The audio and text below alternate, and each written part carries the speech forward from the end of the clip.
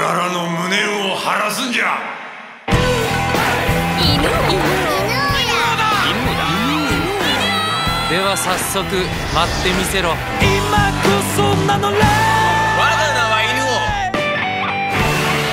王俺が聞いてやるお前たちの物語をまだだまだ足りぬ自分たちがこの世にいたことを誰かが知るだけでいいんだそれで報われる俺たちはここにいるぞって。